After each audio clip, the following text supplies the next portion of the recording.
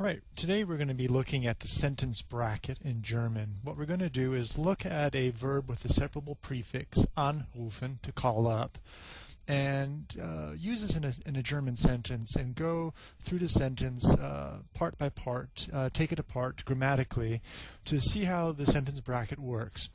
Um, then we're going to play of word order to show that the sentence bracket is uh, independent of word order. Uh, and then finally, we're going to con conclude with a compound verb, uh, einkaufen gehen, to go shopping. So using two verbs instead of one uh, to demonstrate the same effect with the sentence bracket. So let's take a look at this uh, verb anrufen, to call up. You recall that uh, verbs with a separable prefix, the prefix is actually stressed. Therefore, uh, the stress over the A, anrufen. Now, the sentence, sentence we're going to be looking at is Ich rufe heute meinen Freund an. I'm calling my friend up today. So, going through the sentence uh, component by component, we have the subject, ich, is the first person singular personal pronoun, I. Uh, the verb, uh, rufe, which uh, agrees, uh, subject verb agreement. It's a first person singular conjugated form of the verb. Um, I call. The adverbial time modifi modifier, heute. Now, since it's an adverb, it adds to the meaning of the verb. Well, when do you call? I call today.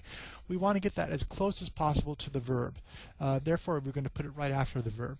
And then we have meinen Freund, which is the accusative object. So something in the sentence has to receive the action of the verb, and that's going to be my friend. My friend receives the action of being called up, therefore he's going to be in the accusative case.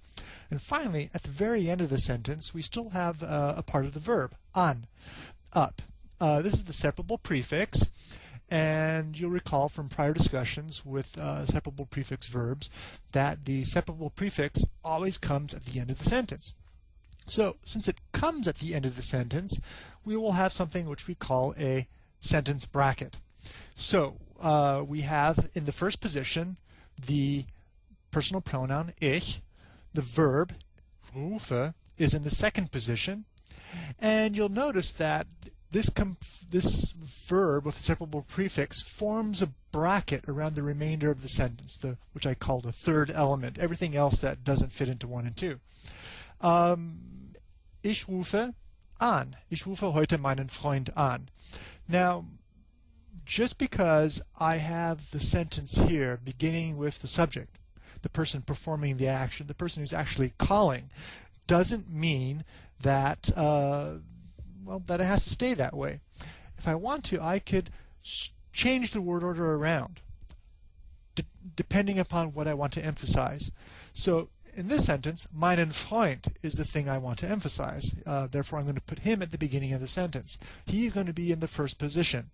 However, you'll notice that the second position still is the verb. This is a, a standard rule of thumb that the verb in statement sentences in German always comes in the second position. And since it's a separable prefix verb, the prefix comes at the very end of the sentence, forming again the sentence bracket. Now, ish has to, the subject of the sentence has to come in somewhere since it's no longer in the first position, can't be in the second because that's where the verb is. So the third position was sort of the catch-all. So um, since it's the subject of the sentence, I want to get that as close to the verb as possible. And then after that, we could follow it with the adverbial time modifier, modifier heute. So uh, just a quick demonstration to show that uh, the sentence bracket still works regardless of sentence syntax or the word order of the, sen the word order of the sentence. Now finally, the last thing I want to look at is something in German that they call a, uh, a compound verb. So, for instance, uh, einkaufen, gehen. We have two verbs, einkaufen, to shop, gehen, to go. Now, in English, uh, you'll see there we have to go shopping. Shopping uh, is actually what they call a gerund. It's a form of the verb. Uh, that's not a standard form. So to go, to go shopping, to go um, skating, to go driving. All of those gerunds will end in an ing. So In German, the primary emphasis is on the act of going. What are you doing? We are going. And what are you going to do when you get there? We're going to go shopping. So what we want to do in German is to put the gehen in the second position.